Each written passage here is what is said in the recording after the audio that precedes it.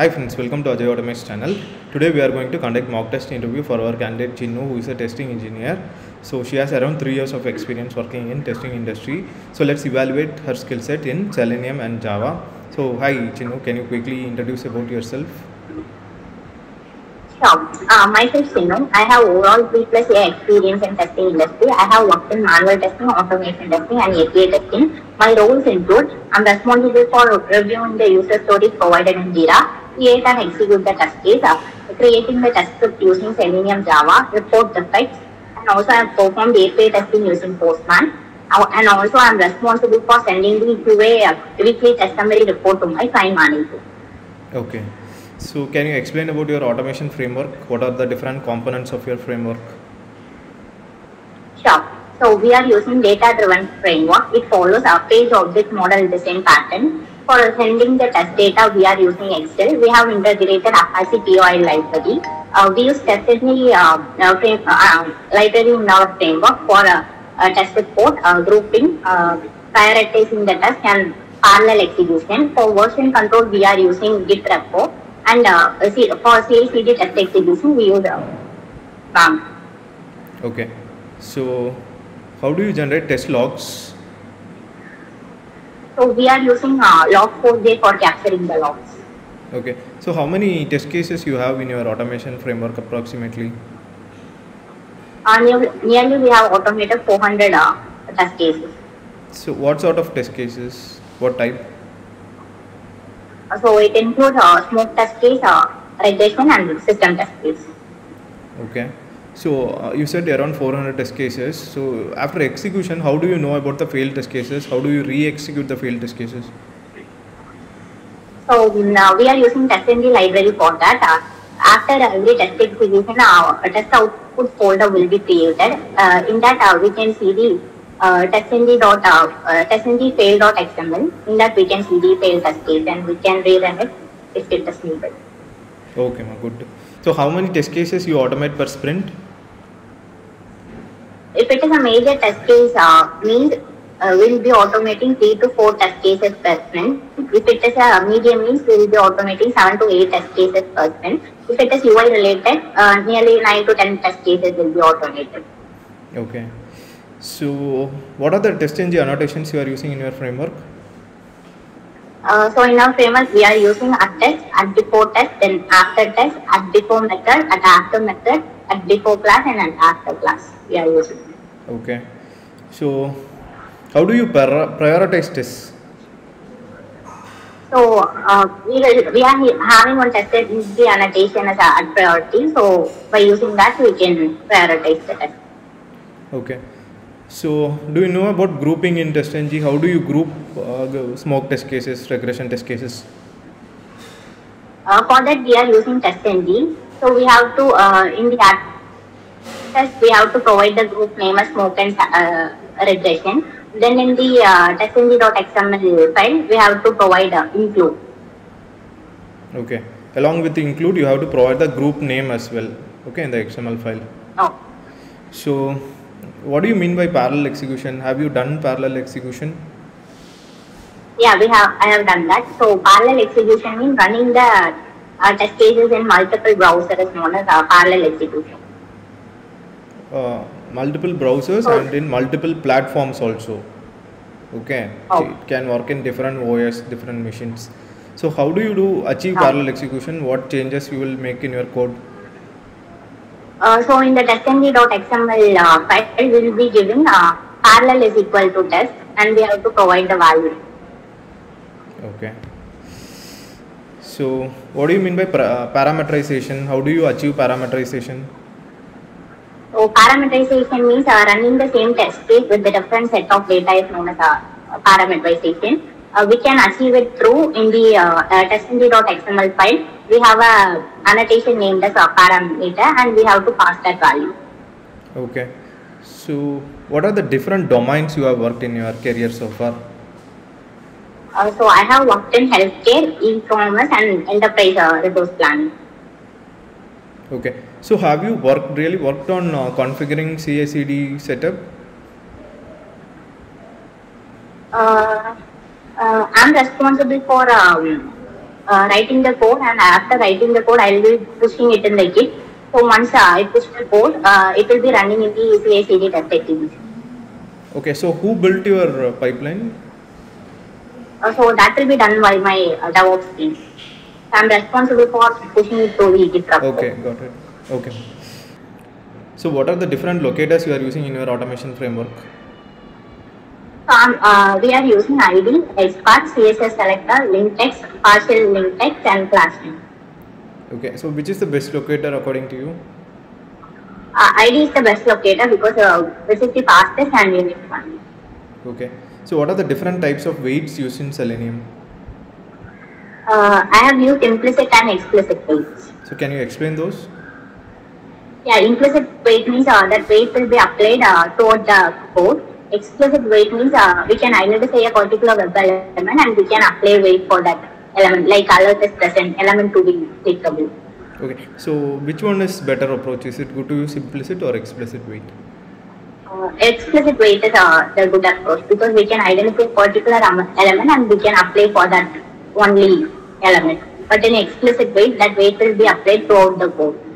Okay, by using explicit wait, we save some amount of execution time. Okay, so that's the main advantage. So try to avoid using implicit wait. And uh, so, how will you handle dynamic web elements? Consider the locator keeps on changing. What will you do here? How will you identify that web element? So we can uh, use absolute XPath. And so we have to Uh, traverse from parent to child. Okay, from top of the Yeah. HTML element to the desired web element. Okay, so how will you automate drop down? So we can use select class. Uh, uh, to select the values from the drop down, we are having three methods. Select by value, select by visible text, and select by index. Okay, so how will you automate alert messages? So uh, first we need to uh, switch the Selenium to alert. For that we will be using switch to. Then we can, uh, if you want to accept it, we can use uh, alert.accept and alert.dismiss. Okay, for clicking cancel button, we can use dismiss method. Okay, and for getting the text, we have to use get Okay. method. Okay, so how will you validate whether all the links in a web page is successful or it is working fine? So uh, we can find all the web page of the link using the anchor tag. Then we have to send the HTTP uh, request uh, for the link, and we have to get the, read the response of that. So based on if the request is valid, then can uh, based on the response we can validate links. Okay, so have you done uploading in Selenium? How do you upload files using Selenium? Uh, yeah, I have done it, and for, for that we have used uh, sendKeys, and also I have used AutoIT to upload files. Okay, so one more thing is we can use robot class also for uploading files. Okay, so Okay. let's switch to Java concepts. So what are the different OOPs concepts you have used in your automation framework? Uh, so I have used abstraction, interface, uh, uh, inheritance, uh, polymorphism, and encapsulation. So what is inheritance? Inheritance means uh, inheriting the attributes of parent class to child classes are inheritance. Okay. So what is method overloading and overriding? So method overloading means uh, we'll be having the same function name with a different number and type of arguments and child class. Method overriding means we'll be having the same function name but different number and type of arguments and child class. Okay. So what is the difference between abstract class and interface? So uh, abstract class means we'll be having abstract method and normal method, but in uh, interface we'll be only using abstract methods. Okay. So what are all interfaces you know or you are aware of in your framework? So I'm aware of WebDriver. WebDriver is an interface. Okay. So what are the different Java collections concepts you are aware of?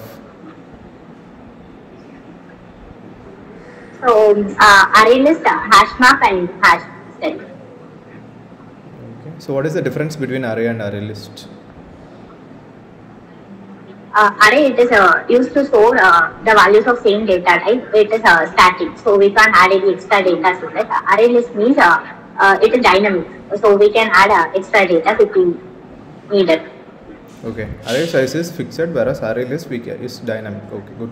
So can you execute a Java program without main method? No, we can't execute a Java program without main. Okay. So we will get a compilation error. Okay. If we execute any programs Okay. without using main method, explain that also. So consider you have a static block of code and you have a main method block of code. So how will the program work? What will be the order of execution? Which block will be executed first? Uh, static block will be executed first, uh, then only main block will be executed. Okay, good. So, uh, consider a Java program. You have to uh, tell the logic for this program. Okay, consider a string and you, you just have to reverse a string. Okay, you can take any city names like Chennai or Bangalore as a string. So, what logic you will um, explain here to reverse the string? Okay, first we will be declaring the uh, string value in a variable. Uh, once we declare, we have to use the loop. Uh, so in that loop, uh, we will be finding that uh, particular string length. Then we have to decrement the value. So after that, inside the loop, we will be using uh, str that uh, string dot uh, charAt of i minus. So then the loop will be iterated and that reverse uh, string value will be reversed. Okay, but you, do you have to increment or decrement? So, in the loop, Uh, we have to uh, with the loop we have to decrement the value if it is reverse. Okay, good. So, are you working in agile uh, model? So, does your project Yeah, we follow are agile? working agile. Okay. So, what are the different agile ceremonies you are aware of? So I'm aware of uh, sprint planning, daily scrum, uh, sprint demo, and sprint retro. Okay. So, uh, what do you mean by product backlog? So uh, in product log backlog, it will contain all the project requirements. Okay. So, what is mean by sprint backlog then? Uh, so in the sprint backlog, it will be containing that uh, particular sprints requirement in the sprint backlog. So, it contains the particular sprint related tickets only. Okay. So, from product backlog only, we will be taking sprint backlogs related tickets. So, uh, how many, how much is the duration for a sprint in your project? I, uh, nearly two to three weeks. Okay. So, consider you have a large amount of testing to be done at the end of the sprint. What will you do here? So at that time, uh, I will be running all the critical uh, tickets first. Uh, once the critical ticket is done, I will be informing the team. Uh, like uh, I will be missing some test scenarios because I got all the tickets at the end of the sprint. So there may be a chance of missing some scenarios. And also, I am drafting the mail to my uh, manager regarding the sprint. Okay, good. So, what is smoke testing? Uh, so, uh, smoke testing will be performed at the initial build of the software. We'll be checking whether all the critical functionalities of the application are working fine. Also. Okay. So, what is regression testing then? Uh, regression testing, uh, whenever there is a new changes uh, applied to the software, we will be checking whether the existing functionality is uh, still working fine after the new changes. Okay. Okay. So, why do you feel I should hire you? So uh, I feel uh, I have the technical abilities to work in the automation environment and I can grab things quickly. Okay, ma. Good. So we have uh, come to the end of today's mock test. Okay. So to provide feedback for you, uh, you have answered well in uh, Selenium concepts, Java concepts, and uh, Agile methodologies, and the programming was also okay. So out of five, I would provide uh, around three to three point five. So what improvement you can take from this mock test is uh, you have to reduce the speed of your answering. Okay, try to reduce the speed because while you are answering faster, you are, you are making some grammar errors or some errors from the technical perspective okay so if you talk slowly you might answer it properly okay that is one uh, thing you can take. So technically for a three year experienced candidate you have uh, uh, good knowledge in selenium and java concepts. So today I, I was asking basic questions in java. So in our upcoming mock test we can um, go bit advanced in java concepts and java collections. Okay? Okay Okay. Chinnu thanks for joining today. We can uh, drop off. Okay, thank you. So that's all we have in this video dear friends. So i hope this video will be really useful for your upcoming automation interviews. Also if you want to attend mock test with us please to comment your email or phone number in the video description. We will reach out to you and help you in clearing automation interviews okay?